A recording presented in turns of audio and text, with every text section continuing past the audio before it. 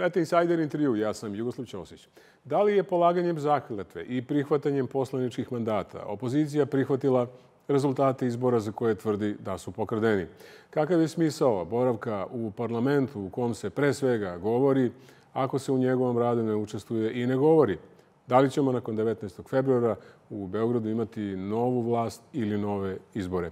O ovim temama u narednih sat vremena gost Insider intervjua Miroslav Aleksić, predsednik Narodnog pokreta Srbije.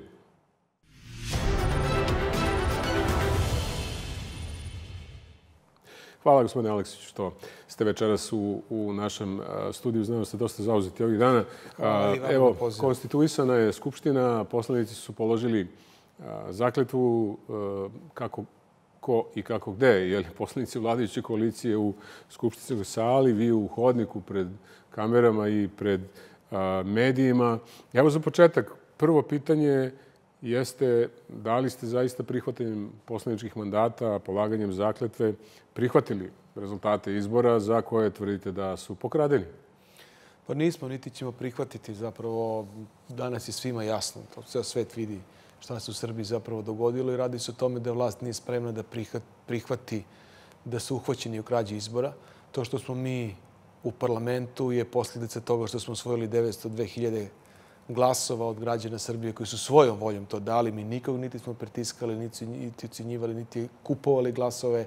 Dakle, mi imamo ovo izabrano tim građanima i borit ćemo se i u okviru institucija, i van institucija, i na međunarodnom planu.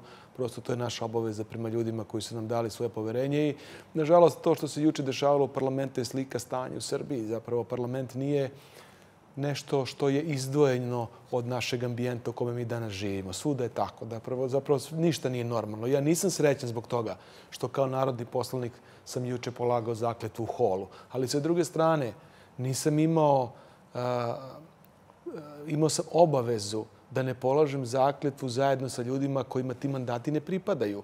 Jer sa strane režima su sedeli poslanici koji nisu voljom građana Srbije tu mm. na osnovu nekih pokradenih glasova i mi nismo želi da zajedno sa njima položi, polažemo pa da, zakletvu građanima. Već smo logičko pitanje, ako već tvrdite da njima ne pripadaju ti mandati, da prosto logički razjasnimo tu celu priču. Ja verujem da su i mnogi građani zbunjeni i da ovo prosto traži jednu vrstu objašnjenja ili eksplikacije.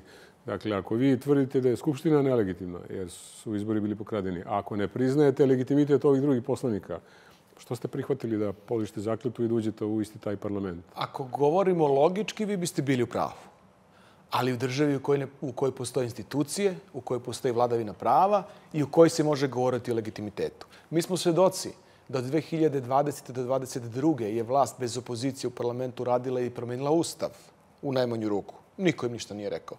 Dakle, Taj u zemlji... parlament nije dugo trajao. U dve godine. U zemlji, pa, da. u zemlji u, pa ovo je trajao još kraće.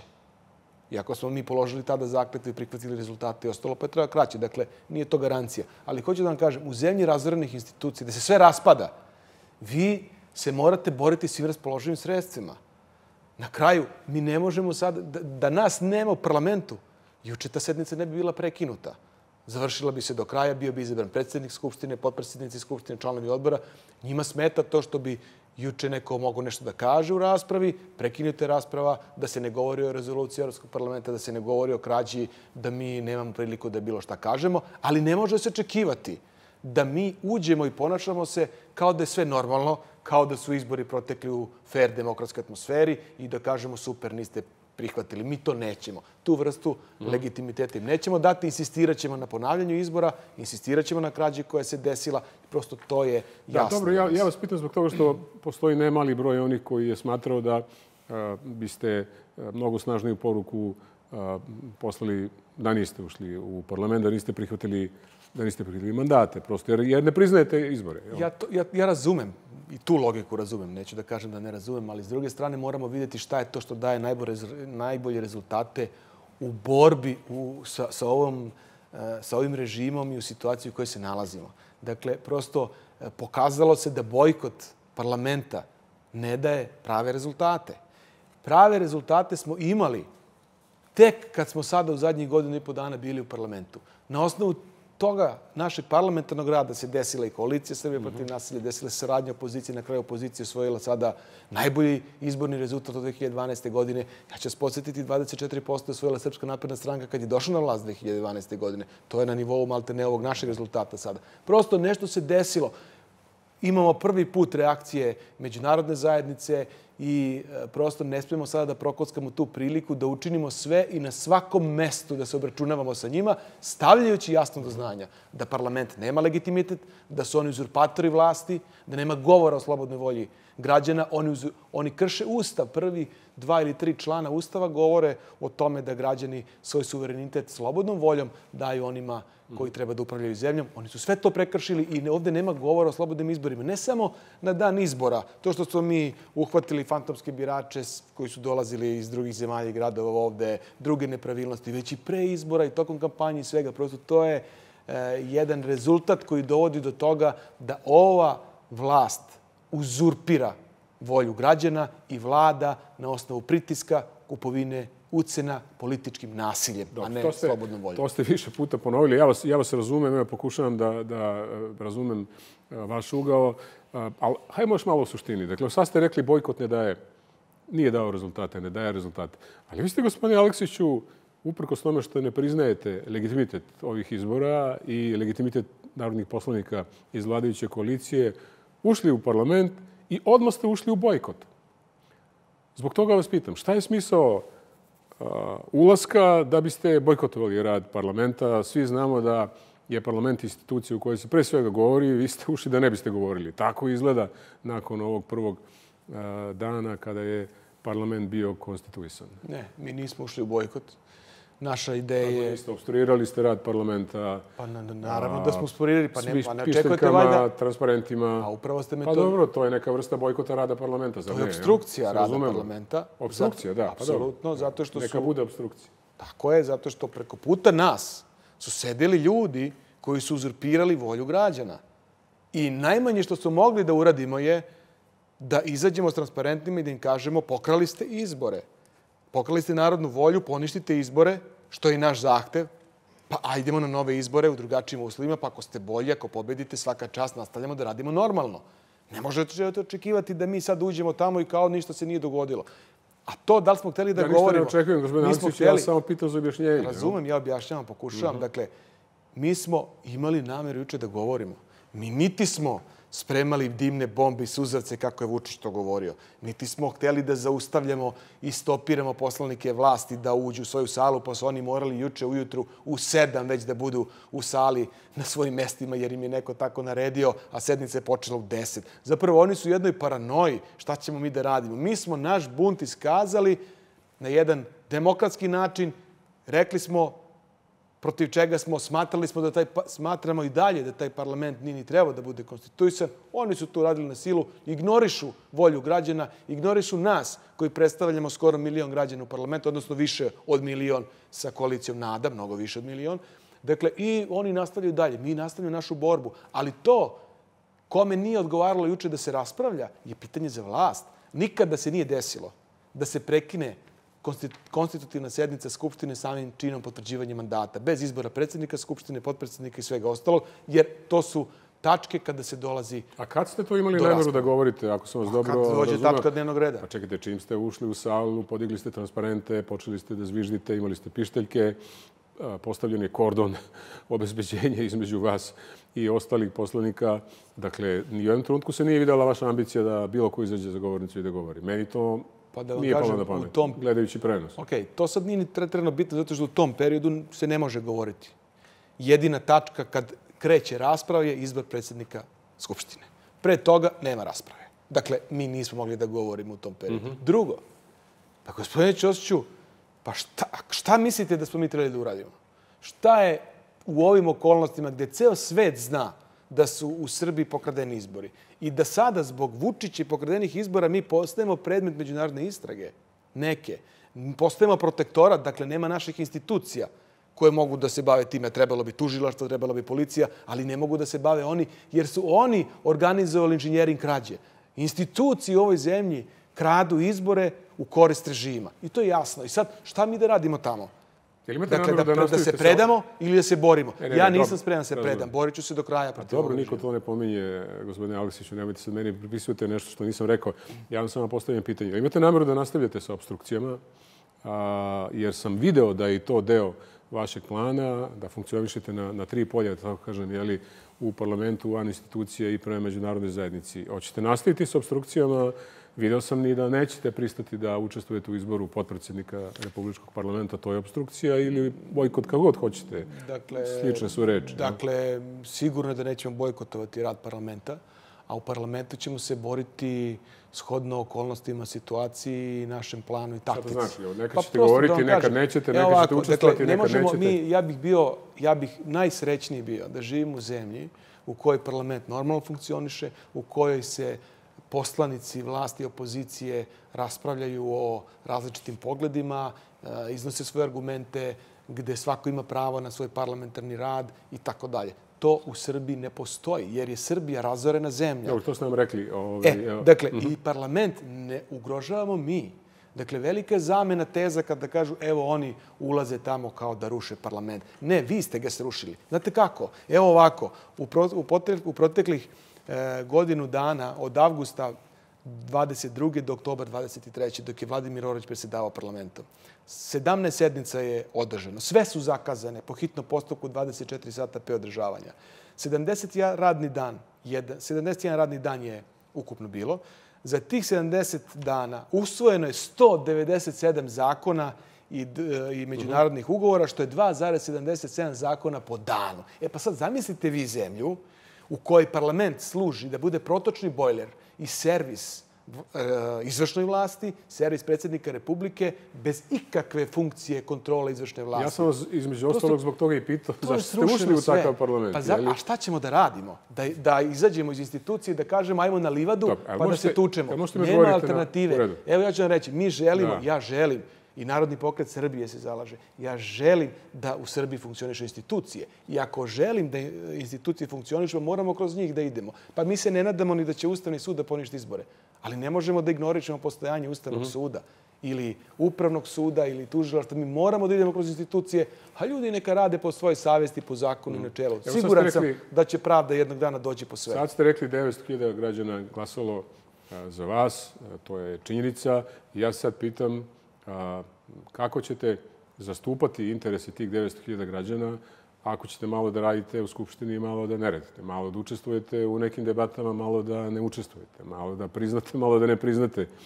To meni tako deluje zbog toga što ste saopštili da nećete učestvovati u izboru potpredsednika, da nećete davati a, predsednike radnih tela ili odbora da. skupštinskih, ne, ne. već ćete samo biti kao članovi a, Znate kako, to je, sad se nameće pitanje, pa šta ćete raditi? Mislim, ili mislim, ćete da radite i da zastupate interese građana Srbije ili nećete? Mislim da, da ovaj, imate pogrešan utisak. Dakle, mi ćemo da radimo. Ovo su činjenice, ovo nije utisak. Ne, ne, utisak je kad Hoćete kažete... Hoćete učestvovati u, pa, naravno u odborima? Naravno da ćemo učestvovati u raspravama. Hoćete davati predsednike? Sve ono Hoćete što... davati, molim, evo sad ćemo govoriti. Pa evo davati predsednike? Sve ono što pripada uh mhm. -huh. našoj listi po osnovu broja osvojenih mandata ćemo prihvatiti. A to znači mandate, a to znači odbore skupštinske uz srazmerno rezultatu onoliko koliko nam pripada. Ali nećemo prihvatiti ni jednu funkciju koja je plod dogovora sa režimom, a to znači potpredsjednička mesta u Skupštini,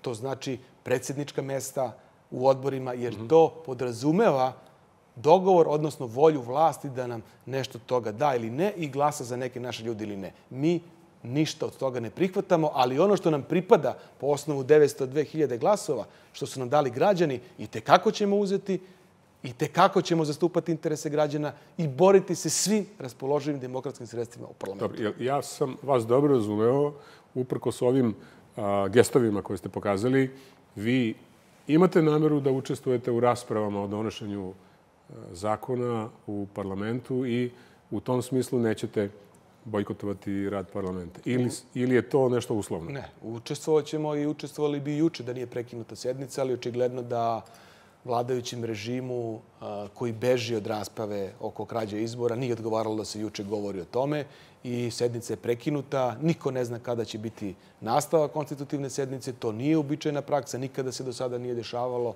E sad, Kad ćemo doći do te sednice? Doći ćemo, ali ćemo mi svakako, kad god ona bude bila, imati te kako šta da kažemo vezano za sve ono što se mm -hmm. dešavalo tokom izbora i pre izbora. E, znate šta, postoji, da kažem, jedan pogled na, na tu vrstu vaših aktivnosti koji kaže da vi zapravo a, tražite prečice i da ovim načinom a, funkcionisanja u parlamentu a, prosto na neki način ne prihvatate borbu na duge staze, a potpuno je jasno da je politička borba u kojoj ste borba na duge staze, to i prošlost pokazuje. Prethodnih 12 godina, otkad je ova koalicija na, na, na, na vlasti. A, ta teorija prosto kaže uđite u parlament, radite svoj posao najbolje što možete, nemojte bojkotovati, a, to će vas najpre dovesti do ciljeva i u najvećoj meri zadovoljiti interese vaših glasača. Vi se ne slažete? Pa mi to radimo. Ali ne možemo da pristanemo na to da neko uzurpira volju i da pristanemo na to da kad nekog uhvatite u krađi kažete pa dobro, eto, prihvatamo, jeste krali, ali mi ćemo da se pravimo kao da vas nismo uhvatili. Pa ne možemo tako. O tome se radi. Dakle, ovde je, e, ti mandati njihovi su posledica krađe. I to je danas ima jasno. Mi imamo izveštaj koji smo napravili na 28 strana vezano za izborne nepravilnosti i za krađu. To je kompletan izveštaj. Kad kažu da nema dokaza, dokazi postoje. I nisu to samo naši. To je dostavio i Odir u preliminarnom izveštaju pokazao, to je posmatračka misija CRTA, to su videli evroparlamentarci koje je vlada došla ovde, pozvala ovde da budu posmatrači na izborima. Dakle, to je danas svima jasno. I sada mi ne možemo da pređemo preko toga tek, eto, desilo se, samo zato što u Srbiji ne postoji ni jedna jedina živa institucija koja će reći Pa čekajte, Ministarstvo unutrašnjih poslova je učestvovalo direktno u krađi izbora tako što je prijavljivalo građane na lažna prebivališta, fiktivna prebivališta. Imali ste po sto i više glasača prijavljenih na jednu baraku ili trafostanicu koji ne žive uopšte u Beogradu, žive u Nišu, u Novom Sadu, Banja Luci ili ko zna gde. Dakle, to je morao da radi MUP. A onda Ministarstvo državne uprave i lokalne samouprave je potpuno birački spisak kontaminirala. Više se ne zna ko je tu, ko nije, ko su ti ljudi koji su oni sad stavili tu spisak, na koliko biračkih mesta se ko nalazi. I to ne govorimo mi, to govore posmatačke misije i to će tek da se nađe u finalnom izveštaju odira. I onda imate na kraju situaciju da mi podnesemo krivične prijave, tužilaštvo se pravi mrtvo, kao da se u areni nije desio sabirni centar gde su se okupili ljudi iz Republike Srpske koje su raspoređivali na biračka mesta jer oni ne znaju gde treba da, da glasaju. I sve se to videlo, sve se to zna i sada oni koji treba to da rade ne rade jer smo mi razorena država. Mi više i nismo država. Olupina smo države. I suočavamo se sa, jednom, sa jednim velikim izazovom. Ja to moram da vam kažem kao društvo. Srbija iz dana u dan gubi svoju teritoriju, gubi nacionalni identitet na određenim delovima teritorije, zadužuje se, nestaju institucije, gubimo budućnost, e, gubimo šansu da budemo normalni i uređeni svet. Sve smo dalje od Evrope i Europske unije i sve to zbog toga što jedna grupa uzurpatora, manipulatora i šibicara preuzela vlast, kontroliše medije, zgazila institucije, pogazila ustav, ponaša se kako god hoće. I sad u takvom ambijentu koji oni stvaraju ne možete očekivati da opozicija koja praktično nema mogućnost da utiče na stvaranje ambijenta ima odgovornost za to. Oni koji vladaju Srbijom 13 godina, 12 punih i 13 su ti koji utiču na ambijent. da očekuju neku inventivnost. Evo, gledali smo parlament, ovih transparenta i pištaljki smo se nagledali. Šta ćete vi da radite zbog svih ovih činjenica koje ste vi navili, osim što čekate, tako ovi cinično kažu neki, čekate godova, čekate da vam neko iz sveta je li pomogne kako bi se ova situacija razrešila uprko svim ovim činjenicama koje ste sami navodili u nekoliko minuta? Pa ja ne znam šta bi ja još mogao, gospodine Ćosić i moji kolege, da uradimo, jedino da uzmem kantu benzina pa da se spalim ispred Skupštine. Na svim protestima smo svuda, svake godine, gde god se oni dešavaju. Od Pirota do Subotice. Gde god građanima Srbije treba podrška i pomoć, mi smo tu. Na ulici smo tu, u institucijama smo tu. Borimo se, govorimo o nečemu o čemu ne bi trebali da govorimo mi, već institucije koje ne, ne postoja. To su policija i tužilaštvo. Ja i moje kolege smo ulazile u, ulazimo u strašne slučajeve gde dokazujemo krađu brutalno ovog režima, kriminal, korupciju, govorimo o najgorim kriminalcima, guramo glavu u torbu. da bismo dokazali mi nešto što bi trebali da radi institucije? Ništa. Čekaj, šta, bi mi više trebali da radimo? Niko ne sagledava sad okolnosti u kojima se nalazi opozicija. Imate vlast koja rasprodaje nacionalne interese, rasprodaje državnu teritoriju, rasprodaje građane, bakar, zlato, samo da bi kupili podršku da bi opstali na vlasti, jer svi znaju šta se dešava u Srbiji. I sad u takvoj situaciji neko sad opoziciji spočitava kao pa šta vi ništa niste smislili duvate u pištaljke. Evo ja pozivam svakog čoveka u Srbiji. Pa nismo mi, što ne pripada samo nama političko delovanje i opozicijno delovanje. Mi radimo najbolje što možemo. Da, da, pa ja Hajde neka dođe bilo ko drugi. Ako ima neko sposobniji, bolji, ja bih voleo. Evo, ja sam spreman da pomognem svakome ko zna način kako da srušimo ovu vlast koja rušava Srbiju. Evo, ja pozivam te, sve te ljude. -huh. Ja činim ono što je do mene. Nisam dovoljno ni pametan ni sposoban. Vjerojatno da bi neko to znao bolje, ali ja, evo, ja ću prvi biti tu koji će podržati svaku aktivnost. Ja zaista vam kažem, gore je stanje sada po opoziciji nego za vreme Slobodan Miloševića, verujte. Tada je ceo svet bio na strani opozicije.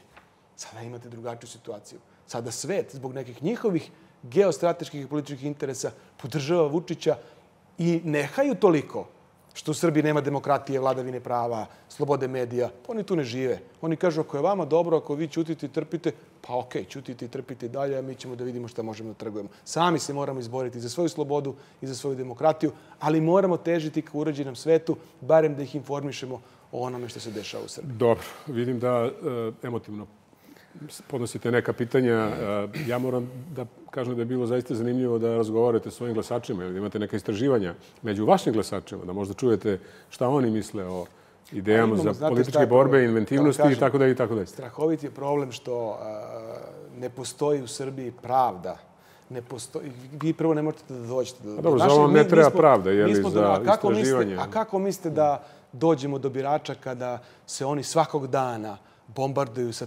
tajkunskih režimskih televizija. Pa, Pinka, isto Happy-a, kao što je bilo i 90-ih, jeli, odlazeći u njihova mesta, ulice. Pa mi to radimo sve.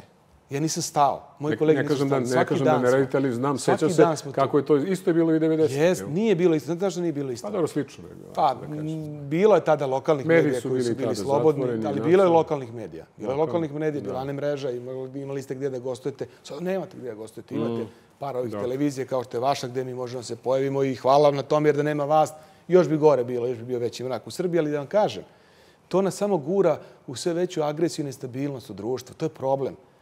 Ja ne, ja ne mogu da shvatim te ljude koji su na vlasti. Zašto ovo rade? Jer taj balon će da pukne u jednom trenutku. On se pumpa, pumpa. Pa imali smo ove tragedije koje nisu pametile društvo. Deca su ubila decu. I šta smo iz toga izvukli kao zaključak? Ništa. Hajde da zatrpamo to. Vreme leči sve. Idemo dalje. Evo, Šta se dogodilo sa presudom za ubistvo Slavka Ćuruviju, šta se dogodilo s Vladimirom Cvijerom, ne znamo, ubistvo Olivera Ivanovića, ne znamo, ubistvo Stanike Gligorijević, ne znamo, i tako dalje, i tako dalje, i tako dalje. I to prolazi, oni sve zatrpavaju, institucije spavaju. I to je tako. Dobro, šta, šta gospodine Aleksić, očekujete od u trenutku kada vi ja razgovaramo, rezolucija još nije doneta, Evropsko parlamenta u u Srbiji i imamo nacrt ovako pred nama na stolu, da tako kažem, koji je podložan promenama i različitim amandmanima. Dakle, šta realno očekujete od, od rezolucije Evropskog parlamenta? Da li zaista očekujete nekakvu dovoljno oštru osudu i nekakav takozvani bezuslovni zahtev da se, da, koji će vlast u Srbiji primorati ili da ponovi recimo izbore barem u Beogradu? Pa da vam kažem, ovaj, e, što se tiče izbora u Beogradu, to je jedino normalno rešenje i jedini izlaz iz ove situacije, ponavljanje izbora. Ali što se tiče rezolucije, e, ta rezolucija će, kako ja čujem, biti vrlo oštra. E, ona će imati 28 tačaka. U toj rezoluciji ono što je veliki problem za državu Srbiju je to što se pominje i zamrzavanje predpristupnih sredstava iz IPA fondova koje mi koristimo. Da, ukoliko se utvrdi da je država organizovano učestvovala tačno, u izbornoj krađi. Jel? Tačno, dakle, ima uslovnost. Jeste, Ako se ima utvrdi. uslovnost, da li pre toga uh, prethodi i formiranje, uh, odnosno međunarodna istraga koja će se sprovesti i isto tako to u dobroj meri može da stopira put Srbije ka Europskoj uniji koji inače je stopiran to ova vlast radi svesno, sa umišljenjem, ali e, zaista bi moglo to biti veliki problem i mi smo sada u situaciji u kojoj nas je vlast dovela da se sprovodi međunarodna istraga u Srbiji povodom krađe izbora. I sad oni kažu, evo čujem premijerku koja kaže danas da je to, kako je rekla, na nivou radio Mileve, to što govore evroparlamentarci. Pritom, evroparlamentarci su oni pozvali da dođu da budu posmatrači. Drugo, ako niste krali, ako je sve, kao što kažete, ispravno, pa što se onda bojite bilo kakve međunarodne istrage? Ona će samo da dođe i da potvrdi da je sve bilo u redu. Nema nikakvih problema. Zapravo oni se boje toga i čini mi se da je Srbija sada u na neki način pred velikim izazovom u nedostatku naših institucija, međunarodne će se baviti očigledno. A ste sigurni, jel zaista mislite da je a, realno da se formira jedna a, međunarodna komisija koja će da izvrši međunarodnu istragu? Znate što vas pitam? Evo vi nedeljama, pa sad i mesecima, permanentno iznosite nove i nove podatke za koje tvrdite da su dokazi izbornih manipulacija, izborne krađe i tako dalje. Ja sam vam pokušao da zamislim kolika bi to mašinerija morala da bude, koliko bi to stotina ljudi moralo u tome da učestvuje, koliko bi hiljada papira i dokumenta morali da provere, pritom ne znaju jezik. A, jel stvarno mislite da je, da je realno da, da, da oni pošalju nekakvu takvu ekspediciju? Pa I kad se to ikad dogodilo? Znate šta, paradoks je što nama treba da dođu ljudi iz međunarodne zajednice da rade nešto što bi trebale da rade naše institucije. I da je sreće, to bi radilo naše tužilaštvo pre svega i druge institucije. Pošto to nemamo, onda će da dođu neki stranci. E sada, e, čini mi se da neće to biti toliko komplikovano, zato što će Odir u svom izveštaju to vrlo precizno i jasno da definiše, kao što je to i crta definisala, kao što smo i mi dokazivali e, na osnovu naših e, dokaza, informacija koje smo prikupili i tako dalje. Tako da prilično je to sad jasno i ne može se to više ni sakriti.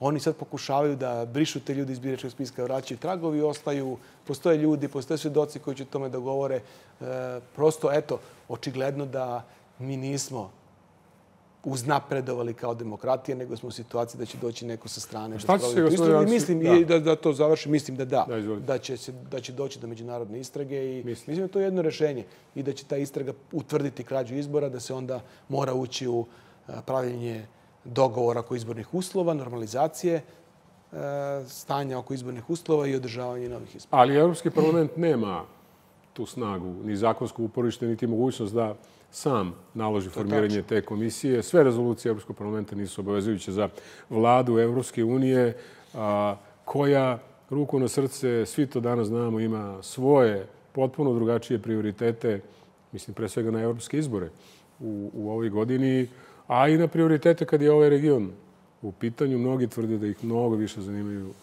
odnos prema Rusiji i Kosovu nego, a, nego situacija sa, pa, sa izborima u Srbiji. Pa ja mislim da, da je sada malo drugačija situacija, pogotovo što se u rezoluciji, u rezoluciji neće biti osvrtani na Rusiju ni na Kosovo, po mojim informacijama. Dakle, fokus isključivo na krađe izbora. I mislim da je ovo trenutak kada je, su te manipulacije prelile čašu čak i ljudima u Europskoj uniji, koji godinama dobijaju uveravanja kako se Srbija reformiše, vlast nudi, trguje i tako dalje. I na kraju i Evropa mora da pokaže odlučnost u ovome ukoliko Ile želi da se vrati na nivo podrške koji je ranije imala od građana Republike Srbije. Negde se stvara utisak da Evropa samo od nas nešto traži, da mi treba to da ispunjavamo. Vlast tako to komunicira zato što njima ne odgovara uređeno društvo. Njima ne odgovara vladavina institucija i zakona, nego im odgovara anarhija i ovo što živimo danas. I u toj takvoj situaciji e, prosto Evropa, ako želi zaista Srbiju e, kao centralnu zemlju e, Balkana da vidi kao uređeno društvo, pa mora sada da pokaže na delu da je spremna mm -hmm. da ide do kraja. I čini mi se da to sada liči na to i ja bih voleo prosto da, da mi na kraju podvučemo crtu pa da krenemo da kao normalna društva se razvijemo. Jer Srbija može mnogo bolje i, i, i, da, i Srbija može da bude jedna uređena zemlja, uređeno društvo. Ja to znam. U Srbiji postoji mnogo sposobnih, ozbiljnih ljudi koji bi mogli od Srbije da naprave dobro mesto za život. Nažalost, imamo uzurpaciju protiv koje se ne možemo izboriti sami. Meni je žao, ali jednostavno to je sad tako. Ajte kad, kad već pominjemo međunarodnu zajednicu, da mi ne umakne ovo pitanje ovaj, namerio sam da vas pitam. Neretko čuju se iz vaših opozicijnih redova ozbiljne kritike pa i uvrede na račun predstavnika iste te međunarodne zajednice od koje očekujete pomoć. Mislite da je to, koliko to može da pomogne? Evo, pomenuću jedan, ja bih rekao, dosta neprimjeren rečnik kada je u pitanju bio gospodin Bilčik zbog neke njegove prve izjave o izvorima u Beogradu, koje on uzgred bude rečeno kasnije, kasnije korigovao. Neki od vaših kolega za, za uga plaćenim zastupnikom i lobistom Aleksandra Vučića a, teško je razumeti da u isto vreme od institucije koju on predstavlja očekujete pomoć.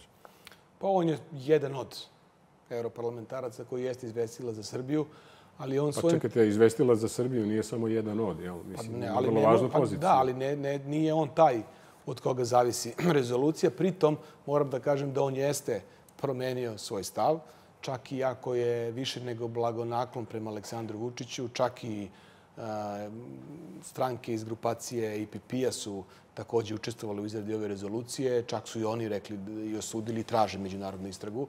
Dakle, što se tiče e, tog stava prema gospodinu Bilčiku, on je posledica njegovog ponašanja u odbrani Aleksandra Vučića. Ja moram da vas podsjetim da je Vladimir Bilčik bio e, čovek koji je vodio međustranački dijalog 2020. posle bojkota 21. i tako dalje. E, mi smo s njim razgovarali videli namere. Ništa se nije dogodilo. Mi smo prihvatili da izađemo na te izbore i jako da. gotovo da je uslovi su ostali isti, da se ništa nije promenilo. Ali ne možete vi da birate međunarodne predstavnike, gospodine Aleksiću, prosto ako je to njihov izbor, je li ovo odgovor Ali znate čemu se dela stav? Stav, da je lobista Vladimira, i da je plaćenik? Ne, ne, stav Vladimira Bilčika i njegovo ponašanje i drugih pojedinaca ne odražava stav Evropske unije, molim vas. On je on kao, znate, ova vlast je shvatila da može da korumpira svakog i da može da kupuje sve. To je veliki problem. Znate, mnogo se gledalo Aleksandru Vučiću kroz prste. I mi tu gubimo jedini kao društvo. Ja ne mogu da ne pomenem šta se dešava e, danas na severu Kosova i Metohije. Evo videla sam danas vest da je e, Narodna banka poslala neki kombi sa novcem koji je vraćen. Tako je, vraćen je sa administrativne granice. Sa administrativne, pa molim vas, tak, pa to je sve predstava za te sirote ljude koji su dole ostali. Šta je činjenica? Činjenica je da je politika Aleksandra Vučića dovela do potpunog razlašivanja Srbije, da više nema tablica, imaju svoje pasoše, imaju svoje, svoju, napravili su državu koju im je dao Aleksandar Vučić, nema više ni dinara kao platnog prometa, Srbe proteruju od ozdo, što je najgore, i zastave se uklanjaju sa institucija na severu Kosova, više nema obeleže, čujem da planiraju da uklanjaju spomenik knezu Lazaru. Za to vreme imate situaciju da na jugu Srbije Bujanovac, Medveđa, Preševo, pa čak i Pazar od strane Albanskog nacionalnog saveta imate ovaj njihov grb gde se ovde oslikava u tom grbu neka mapa gde, je, gde su opštine Juga Srbije i gde je E, stara Raška, gde je Novi Pazar i Raška srce Srbije. I tu su viore albanske zastave, tu je sve u redu, predsednik države ćuti, svi se prave ludi, dole Srbe proteruju, ovde Albanci u našoj Srbiji rade to što rade. Ja bih pitao kad je otišla u Veliki Trnovac ikada patrola policije? Jer to naša teritorija možda ili nije? To treba da odgovore. Da li je to problem koji nas sad čeka? Ili, moram da vam kažem i ovo, što se dešava na istoku Srbije, po mojim informacijama, do kraja ove godine 50.000 Kineza će doći u Bor. Majdanpek i ceo deo istočne Srbije, tamo se naseljavaju. Država Srbija je njima omogućila da kupuju zemljište, vlasnici su preko 2000 hektara zemljišta, kupuju stanove, nekretnine, zauzimaju tu teritoriju, više će biti tamo Kineza nego Srba. Onda će da se otvori legitimno pitanje Vojvodini, šta mi radimo? Orban dolazi tu, grli si sa Vučićem, malo, malo pa se pojavi zastava Velike Mađarske. Ovamo Velika Albanija, ovamo Velika Mađarska i to su To je posledica politike Aleksandra Vučića. Mi smo u velikoj krizi Dobro, evo, kao kad... društvo i neke stvari su da, nepopravljive, molim vas. Uh mhm. -huh. Građani to treba da znaju. Može da se reši pitanje korupcije, može da se reši zdravstvo, može da se reši prosveta, može da se reši poljoprivreda. Sve to ljudi mogu da reše. Ljudi grade, ljudi razgrađuju. Ali kada vi predate teritorije, kada predate prirodna bogatstva, ako date litijum Rio Tintu, tu to je više ne, to je šteta ne Dobro, dobro, doćemo, doćemo do Rio Tinto, svakako sam mislio i, i to da vas pitam, ali evo kad već pominjete Kosovo, ja ću opet da se vratim na, na, rečnik, na rečnik uvreda. Evo, sutra će biti u odnosu na dan kada razgovaramo, vanredna sednica Saveta bezbednosti o Kosovu, kako je najavio ministar spoljnih poslova, Srbija od NATO trupa, koje pre svega čine američke trupe, očekuje pomoć na Kosovu. Vi za američkog ambasadora, dakle, zemlje od koje Srbija očekuje pomoć u zaštiti Srba na Kosovu, vi za njega kažete i optužujete ga da je sa suprugom razvio privatno prijateljske odnose sa predsjednikom Srbije Aleksandrom Vučićem. Pa kakva je to poruka, ovaj, gospodin Aleksiću? Neke vaše kolege malo, malo pa mu šalju poruku sa javnih skupova, tako komuniciraju sa ambasadorom SAD-a. Prosto vas pitam za, za tu a, mogući ugao kontraproduktivnog ponašanja ako već od nekog očekujete pomoć. Jel? Ja ne vidim tu zaista problem, zato što mi ne, ne možemo... Vidite. Pa ne, ne, ne vidim, zato što ne možemo da trgujemo. Znate, e, ambasador Hill i svaki drugi ambasador je gost u Republici Srbiji. I mi ne tražimo ništa drugo u Srbiji. Samo da važe ista pravila kao što važe u njihovim zemljama. U Americi, u bilo kojoj zemlji Evropske unije, okej. Okay. Ako tamo važe jedna pravila, zašto bi u Srbiji važila drugačija? I ako ambasador Hill kaže da se raduje saradnji sa novom vladom koja je nastala na osnovu uzurpiranih izbora i volje građana, pa ne možemo mi da kažemo E, odlično, rekao ambasador Hill, mi spuštamo glavu, pa ne možemo to da radimo. Nemo pravo na to da radimo. Nemo pravo zbog ljudi koji su nam dali glas. Pa normalno da će da mu kažemo. I njemu i svakom drugom. Rekao sam i ja. I za Bilčika, i za svakog ću drugog reći. Svako ko radi po meni protivno interesima mog naroda, moje zemlje gde ja živim, Normalno ću da kažem, neću da ćutim i neću da trgujem. Ali vi govorite, to je stil Aleksandra Vučića. Razumem, Aleksandar imate, Vučić izađe, da. pa i jedno priča u medijima, jedno priča na sastancima, jedno priča svojim ljudima, prosto čovek je manipulator. Mi nismo, ja želim da se u Srbiji da. vrati iskrenost. Ja vas razumijem, gospodine Arsić, imate naravno pravo da iznesete svoj sud o radu svakog diplomate. Ja, nego, ja da. to uopšte ne sporim. Ja samo kažem da vi baratate sa nečim što je vezano za lične odnose. Dakle, Dobro, vi sad, govorite o ličnim odnosima. U lične odnose ne treba ulaziti, tu se slažem. Pa ušli ste, eto. Tu se slažem da ne treba ući u lične odnose, ali profesionalno kad je u pitanju rad, kad su u pitanju stavovi, naravno. Isto tako i ambasadori vrlo često govore i o tome kako se mi kao opozicija ponašamo. Da. Zašto bi mi mogli da, mm -hmm. da to slušamo u našoj zemlji, da mi nemamo pravo na sud o njihovom stavu? U redu. Vidjet ćemo, vidjet ćemo naravno u, u narednim danima kako će biti a, rezolucija, kako će ona zapravo težinu imati, da će uopšte imati a, nekakve posljedice, jeli imajući u vidu da jedinu odluku ili zahtev formalni oko toga može da dovede da donese praktično evropska vlada, vlada, vlada Evropske unije. Šta očekujete sledi konstitutivna sednica za 19. februar je zakazana gradskog parlamenta. Šta očekujete da će se događati 19. februara? Pa iskreno da vam budem, ja bih voleo da se ta sednica ne dogodi, odnosno da se ne konstituiše vlast, zato što je to jedino logično sada u ovoj krizi, zato što je jasno da vlast nema većinu. Na kraju e, opozicija dobila više glasova, čak i lista gospodina Nestorovića je kao opozicijna lista dobila te glasove, a ne neko ko je bio deo vlasti ili režima.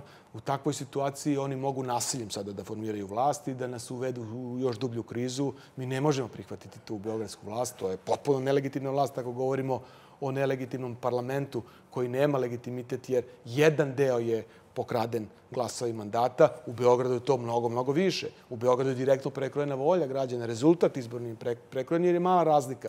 Prema tome ja mislim da ćemo mi učiniti sve da, da blokiramo tu mogućnost uh, formiranja uh, te vlasti koja bi to... nastala kao plod nasilja da. i uzurpiranja volje građana. Kako ćete to Kako ćete to Pa eto, vidjet ćemo. Prosto, uh, ukoliko vlast odluči i saopšte, pošto vidim da se vodi sad tu neka igra, ima Ima većine, nema većine, ta šibicarska stvar, gde je kuglica, ovde, onde. Ako budu rekli nema većine, Ali imate nego, dobro, dobro, vi stalno govorite, imate već razrađene planove i nikako nećete da kažete, ni vi ni vaše kolege, kakvi su to planovi. Što bi... Tamo će situacija biti zanimljiva. Gradonačelnik se, ako se ja dobro sećam, bira tajnim glasanjem. Jel? Da i gradonačelnik i predsjednik Skupštine. Tako je. Dakle, ako eventualno ne budete i predsjednik Skupštine, ako ne budete u sali, a dobiju većinu, tačno će se znati koji poslanik je prešao i pretečao jel, sa strane opozicije. Pa imate neku taktiku, jeste nešto smislili? Pa ja mislim da do mislim toga da zanima to vaše glasače. Ja mislim da do toga neće doći. Mislite? Da. Pa što je zakazana sednica? Pa zakazao je e, predsjednik Skupštine. Pa oni se poobnašaju kao da je sve u redu. Oni e, nemaju odgovor na to što su uhvaćeni u krađi i onda pokušavaju da prosto pređu preko toga kao nije se desilo. Eto, nije se desilo, mi normalno zakazujemo konstitutivnu sednicu, ako ima većine ima, ako nema, nema. Meni se čini zapravo da su i oni svesni toga da vlast u Beogradu ne može da se formira i konstituiše i da će iskoristiti e, taj argument da Nestorovićeva grupa neće u vlast, da nema većine i da se onda ide na nove izbore, jer im je to dosta lakše nego da priznaju da kažu da su uhvaćeni u krađi i da su krali izbore. Mhm. Otprilike, meni to na to liči i verujem da će takav Ukoliko bi e, došlo do toga da nema većine, da se nametne potreba održavanja novih izbora u Beogradu, kad god oni budu bili, da li je to rasplet koji bi razrešio ovu krizu? Da li je to nešto što bi vas primakli više normalnijem radu parlamenta republičkog, da bi republički mogao da radi dijalog, da se to zadovoljilo u nekom političkom smislu, jeli, da, da se donese odluka pa zapravo, verujem, verujem da stvari da krenu tim putem. Da, verujem da bi ponavljanje izbora, a pre toga naravno dogovor oko izbornih uslova, ako ništa drugo smanjuje tenziju društvu, mi bismo na te izbore naravno izašli. Moralo bi da se, moralo bi da se napravi dogovor o elementarnim izbornim uslovima. Pa nek pobedi taj ko je bolji, mi su građani dali podršku. Jer ja to ponavljam stalno, pa reći ovdje kod vas nije sramota izgubiti ili sramota krasti. I to je to. Dakle, to bi na neki način možda spustilo tenzije u društvu, delimično. Republički parlament ostaje kao tema, ali bi u ovom trenutku ne bi, da kažem, dolivalo ulje na vatru. Svaki drugi pokušaj nasilno formiranje vlasti, prekrajanje volje građana bi samo bilo dolivanje ulja na vatru na već ovakvu usijenu atmosferu, ovakve tenzije u društvu i mislim da to na kraju ne bi bilo dobro ni mhm. za koga. I ja apelujem i na njih, ako ima razuma uopšte, da shvate šta se dešava u ovoj Srbiji, da ne može da se pređe tek tako. Ono što nas čeka krajem, krajem poleća, početkom leta, dakle ili juli ili juni, to u ovom trenutku ne znam, jesu lokalni izbori koji su svakako veoma važni, jer tu se također odlučuje o velikim gradovima poput Novog Sada, Niša, izbori su u celoj Vojvodini. Vi permanentno, ja vas pratim kao i sve ostale moje kolege, govorite o, neophodnosti jako velike promjena kad su u pitanju izborni uslovi. O reviziji glasačkog spiska. O nizu mera, ja moram da vam priznam da ja sem te priče o toj potrebi nisam primetio nekakav konzistentan plan, ideju, redosled koraka, nekakav praktični, da tako kažem, dokument jeli, koji bi pobrojao sve one zahteve i, načine u nekom operativnom smislu kako bi se sve to sproverilo. Jel vi to imate ili sad samo očekujete da sve to što tražite urade institucije o kojima neprestano govorite da ne postoje u ovoj zemlji? Da. Mi imamo to i to smo napravili tačno po tačkama šta je to što je neophodno da se u smislu izbornih uslova promeni. Pa objavit ćemo. Nećemo da telefoniramo vlasti pre nego što stigne izveštaj odira. A oni su, ti su zahtjevi upraveni pre svega prema vlasti, jel? Jesu, da, ali mi smo, pa zar mislite da mi to ne pokušamo? Ne očekujete mm valjda da će oni sami sebi sada u tako razorenoj zemlji da otežavaju. zašto, zašto mi govorimo o međunarodnoj istrazi? Pa zato što ovde nema ko drugi da se time bavi. Ne možete očekivati da lopov sam sebe hapsi. I e, ono što je najvažnije, čini mi se da će taj izveštaj odira biti e, nešto što je e, presudno i ukoliko taj izveštaj, odnosno preporuke odira koje se budu ticale izbornih uslova, budu primenjene i ukoliko se sve to implementira, onda će to verovatno značiti da mi imamo barem neki pomak u smislu izbornih uslova i da možemo da izađemo na te lokalne izbore normalno, pa nek pobedi oni ko je bolji. Ukoliko vlast nastavi da ignoriše sve to i se ponaša kod do sada, to već... Vama taj rok juni i juli dovoljno dugačak i za Beogradske izbore? Pa ja mislim da da. Ukoliko postoji volja, uvek sve može da se uradi. Da, birački spisak može da se sredi, postoje mehanizmi kako se to radi. Mi već imamo stručnjake koji se time bave i već su pripremili način na koji se to sve može srediti. S druge strane, ove druge stvari oko medija, to ide najteže, ali mi imamo situaciju da još nije primenjeni zakon koji je usvojen gde treba da se izabere novi sastav REMA i tako dalje. Ima tu stvari, ali to sve može se uradi. RTS prvenstveno bi trebao da ima tu ključnu ulogu kao javni servis koga svi mi plaćamo, ali i druge ove televizije sa nacionalnom frekvencijom. Dakle, ukoliko postoji volja da se e, tenziju društvu smanji, da se normalizuje politički život, sve je moguće uraditi i nije adresa za to opozicija. Opozicija se samo bori najbolje što može u okolnostima u kojima se nalazimo. Vlast je ta koja kreira ambijent u kome svi mi živimo i loptice kod njih. Da. u više navrata su ovo pitanje koje sledi postavili, to sam gledao, ali ne mogu prosto izdržati i ja da vas ne pitam. Vidio sam izjavu, a, u vezi sa mogućim novim izborima, predsjednika Srbije koji je rekao da je za poziciju bolje da nema vanrednih izbora, zato što je siguran da će u tim ponovljenim izborima vladajuća koalicija proći mnogo bolje nego što je sada, a vi loši. Znate, ovaj, e, on je čovjek koji, naravno, ide na svoje medije, svoje televizije i non stop u kampanji kao predsjednik države i ja bih e, mogao da to razumem ako bi zaista u Srbiji postojali izbori. Problem je što ovde postoje izborno nasilje.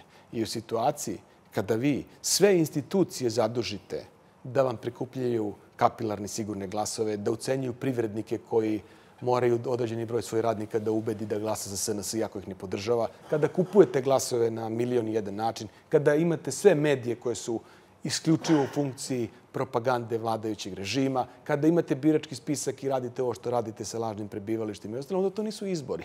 U takvim okolnostima on može to da kaže. Ali upravo ja sad kažem, ajdemo da se dogovorimo oko izbornih uslova, ajdemo da imamo koliko toliko fair play utakmicu, pa pobedi, mi ćemo da čestitamo da si pobedio, ako izgubiš, čestitaj ti nama. A ovako ne možemo da kažemo idemo kao na izbore, bolje bi im bilo da ne idu po ovakvim okolnostima i u pravu. Bolje bi nam bilo da ne idemo kad e, izbora nema. Oni su institut izbora urušili u Srbiji koja bi trebala da bude demokratska zemlja. Da. I to je A, u redu. A, da vas samo za trenutak vratim na, na Republički parlament. Kako ćete funkcionisati u nekom operativnom smislu između sebe? Jer to je večito pitanje a, da li će sastav opozicijalnih koalicija predizborni ostati isti kao i posti, odnosno isti kao što je bio uh -huh. nakon, nakon izbora i tako dalje. Evo, u tom smislu se da, da, da, da neki minut potrošimo i na to. Hoćete funkcionisati kao jedan poslanički klub, kao više poslaničkih klubova. Nemam nameru da svađamo, da, da, vidim da, da niste donali jedinstvenu odluku oko prisustva -huh. konstitutivne sednice. Demokratska stranka je odbila da prisustuje, vi ste bili. Oni, dakle, nisu položili zakletvu. Ako ja da. Pa, to razumem, jel? Položit će, položit će. Ovaj, razumem šta kažete. Što se tiče poslaničkih klubova, imaćemo, ja mislim, šest poslaničkih klubova. Govorimo o koaliciji Srbije protiv nasilja. Samo vi, jel? Na nivou naše koalicije. Da. Prosto to je tehničko pitanje, zato što svaki šef poslaničkog kluba ima 20 minuta. Ako bismo imali jedan klub, onda bismo imali jednog šefa sa 20 minuta. Ovako ćemo imati šesto, šestoro ljudi koji će moći da koriste to. Više vremena. Dobit ćemo više vremena za raspravu i to je jedini razlog zašto se to ovaj, tako organizujemo. Što se tiče kolega iz Demokratske stranke, naravno da su oni deo koalicije Srbije protiv nasilja. Ovo je bila njihova odluka na njihovim organima. Oni su smatrali da je bolje da se tu ne pojave. Mi smo položili zakletvu građanima Srbije u holu. Nismo to hteli da radimo u sali sa onima koji su uzurpirali mandate, a što se tiče koordinacije opozicije, mislim da je ona sada na visokom nivou, da smo vrlo kompaktni, čak tu uh, hoću da napomenem i koaliciju NADA, gospodina Jovanovića i gospodina Mihajlovića, sa njim imamo visok stepen koordinacije i čini mi se da će to da se nastavi da u parlamentu ćemo moći da imamo koordinirane aktivnosti. To se videlo juče i to će se tako A nastaviti. zašto je DS donio ovakvu odluku? Mislim, znam da kontaktirate i sa predsjednicima DS-a i sa predsjednikom DS-a. Šta je bio razlog da ne postupe Isto kao i vi. Pa ne znam, niste... zaista. To je više pitanje za njih. E, eto, Dobro, pitamo vas da li znate možda. Pa ne znam, oni su mm -hmm. doneli na svojim organima, mi nismo htjeli da oko toga sad nešto insistiramo, prosto nije ni toliko to sad pretredno važno, ali ono što je sigurno, oni neće bojkotovati e, rad parlamenta, također će ući raditi u parlamentu. Mm -hmm. Dakle, tu nema dileme, jel? Da, da. Dobro. Gospodine Aleksiću, evo, rekao sam malo što da ćemo se vratiti na tu temu, na temu ekologije, e, nekako sad se malo, malo pa izrone nekakve nove indicije da kampanja litijuma u Srbiji nije baš sasvim napuštena. Teo sam vas pitam, je li imate vi neke nove informacije u vezi sa tim? Siguran sam da je ovo velika tema za sve naše građane. Ne konkretno čak samo litijum, već mnogo šire kvalitet vazduha koji udišemo. Da podsjetim naše gledalce da se ogroman najveći procenat naše električne energije proizvodi na ugalj koji ima užasan efekt na, na atmosferu. Je li imate neke informacije koje možete s nama da podelite i ako je ovo tačno, imate neki plan kako ćete se tome suprostaviti, pošto znam da se vi da.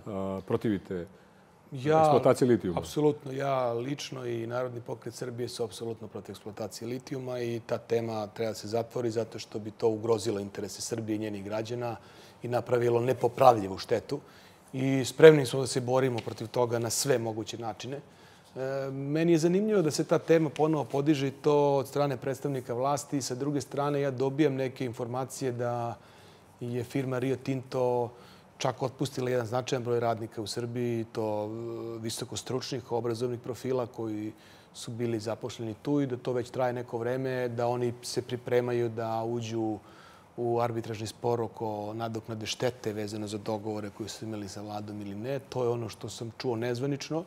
Ne znam da li je to tačno. A sa druge strane se pojačava ta kampanja što je malo kontradiktorno i ne znam da li to sad je, ima za cilj da e, ponovo bude sad neka tema koja treba da zatrpa krađu izbora ili neke druge stvari ili ovo što je događa na Kosovu sa dinarom, sa tablicama i tako dalje ili, zaista tu postoji nešto, ali bilo kako bilo, čini mi se da je opozicija vrlo spremna da se bori protiv toga do kraja. I ne samo opozicija, već i građani Srbije. Dakle, svima je jasno da tu nikakve koristi nema, da bi tu bila strašno velika šteta po interese Republike Srbije i njenih građana i to se ne sme dozvoliti. Prosto to čini mi se da, čini mi se da taj, taj projekat e, ne, nema veliku perspektivu Srbiji. A zbog čega napadate Savu Manojlovića, lidera pokreta Kreni promeni?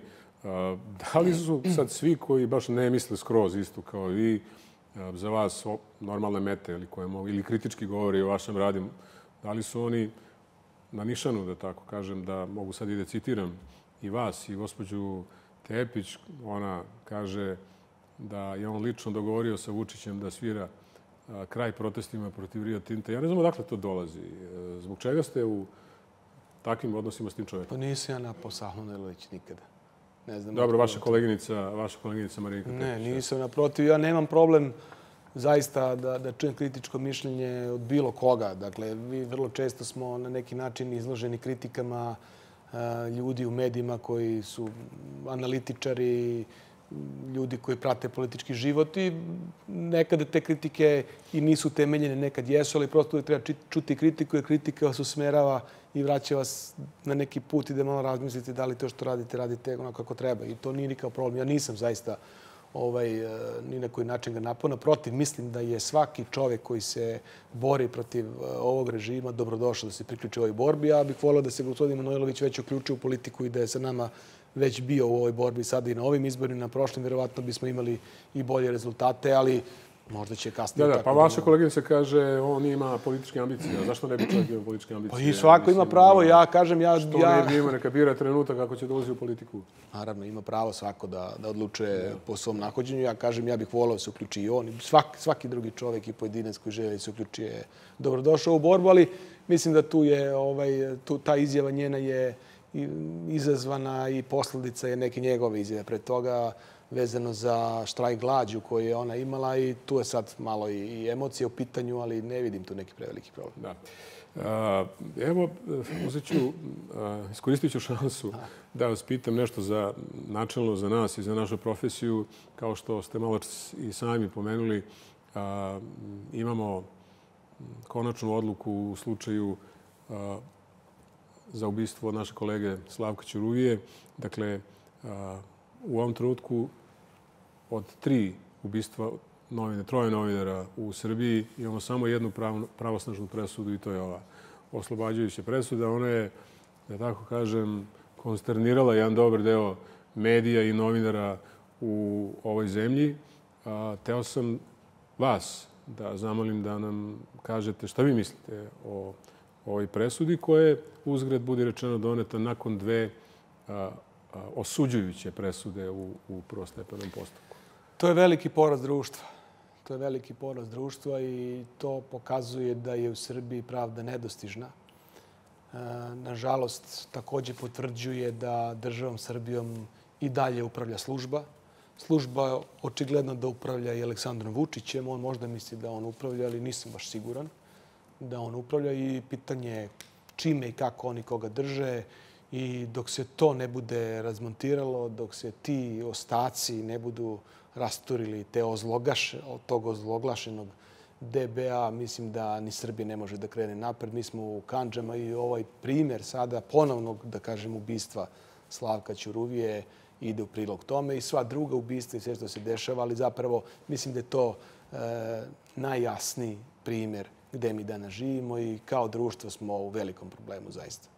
E, vratit ću se na kraju još samo kratko na, na Kosovo. Iznali ste niz kritičkih primjedbi na politiku Srbije prema Kosovu. Sutra, rekao sam već, je sednica Saveta bezbednosti vanredna na Kosovu. Jel mislite da neki novi vetar može tu da se dogodi nakon ovog ukidanja transporta dinara i uopšte isključivanja platnog prometa, platnog prometa za dinar? Da li je možda prosto Beograd bio prinuđen na, na ovu vrstu politike ili ste vi možda mislili da su postojale i neke druge mogućnosti koje Srbija nije iskoristila?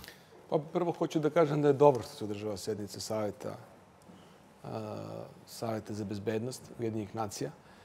Međutim, ne mislim da može bilo šta da se tu uradi dramatično. Bila je sednica i ranije, negde je ta stvar dovedena do kraja i to što se sada dešava na Kosovu isključivo je posledica pogrešne politike.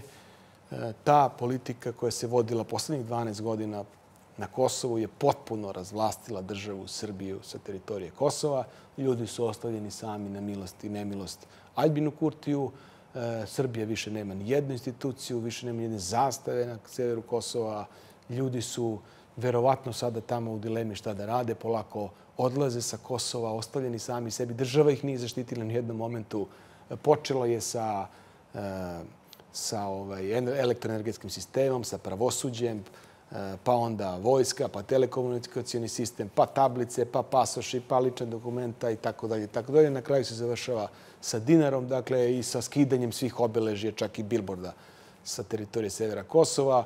Vojska je tamo, sve je tamo na neki način vlast Srbije e, prihvatila i to je bila puzajuća okupacija e, severa Kosova i sad je eto ostalo da se borimo za taj dinar na Savjetu bezbednosti i po meni se čini da ukoliko to vlast nije već dogovorila u nekim ranim sporazumama, pošto mi ne znamo šta oni dogovaraju, dosta je to netransparentno sve bilo, da to može da bude samo odloženo, jer prosto sve ostalo su im dali. Učestvuju u vlasti s Albinom Kurtijom, učestvovali su ranije. Predstavnici Srpske liste su polagali zakletvu državi Kosovu. Oni su polagali, Rakić koji sedi u parlamentu sada Republike Srbije, polagao albansku zakletvu. I šta sad vi da očekujete? To su ljudi koji su sve vreme samo pokušavali da kažu držte lopova. Nismo mi krivi i nismo mi ti koji smo sve to predali Kurtiju i Albancima ranije Haradinaju, nego je to radio neko pre 12-13 godina. Moram dakle, da, da samo, samo jednu na to da je, da je odluka da se uđe u Kosovski parlament bila rezultat procene da je to u interesu da, jeli, Srba na Kosovu, a ne samo, u interesu da. Ali samo jedna Albina Kurtija. Sve ono što smo imali do 2012. godine na severu Kosova, a imali smo sve, ljudi koji žive dole znaju šta smo sve imali. Od institucija. Dakle, u Kosovskoj Mitrovici se do 2012. živjelo isto kao u Kraljevu. Sve smo imali naše. Danas nemamo ništa. Ono što u ratu nismo izgubili, to je ova vlast dala u miru. I nema šta više da kažem. Kad ste već pomenuli vojsku, kakav je vaš stav o obaveznom služenju vojnog roka? To je očigledno na putu da se uvede čim su eh, je iz tako visoki kancelarija stigla poruka da se na tome radi. Pa to je jedna tema koja se takođe nameće sada. Postavlja se tu mnogo ima neodgovornih pitanja. Prvo, eh, za koga se sprema, protiv koga da ratujemo. Drugo, da li postoji strategija eh, za to, da li postoje budžetska sredstva, otkud to, zašto mi da bežimo od profesionalne vojske, zašto do sada se dešavalo to da nam se vojska prazni, da mi e, imamo poluprazne brigade zato što nema dovoljno popunjenosti. Šta je razlog pa vojnici napuštaju profesionalnu vojsku, što se ti uslovi nisu popravili, nego smo sad došli da to popunjavamo. Kako znamo, imamo s druge strane, ja nisam iz te oblasti, ali postoje ljudi s kojima se konsultujem i koji će svakako da mi pomognu kod toga. Ja se to ne razumem, ali nije logično da mi kupujemo sofisticirano naoružanje, savremeno i tako dalje, a da očekujemo da će neki vojnici sa tri ili četiri mesa obuke moći da time upravljaju. Prosto tu nema nekakve prevelike logike. Ja sa aspekta neko ko je služio vojni rok e, podržam da svaki mlad čovjek prođe tu školu, to je škola života i vojske je dobra, ali s druge strane što se tiče države, mislim se to radi potpuno bez strategije, ad hoc ide to takođe jedna vrsta kampanje, jer Vučić samo radi ono što mu istraživanja pokazuju da ljudi reaguju na to dobro, a ne na osnovu nekog strateškog upravljanja državom. Hvala što ste bili u, u ovom studiju. Gosti sa Ajden i Trija Miroslav Aleksić, predsjednik Narodnog pokreta Srbije.